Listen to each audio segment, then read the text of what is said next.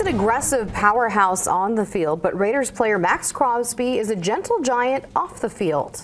Oh my goodness, hello, handsome.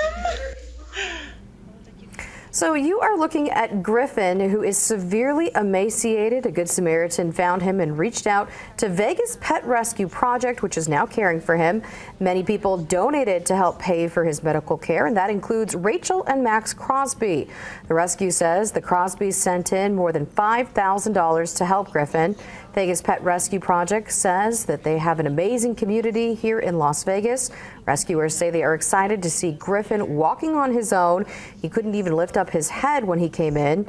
Dog may need surgery, though. The plan is to send him to a medical foster when he recovers and eventually put him up for adoption to a loving home.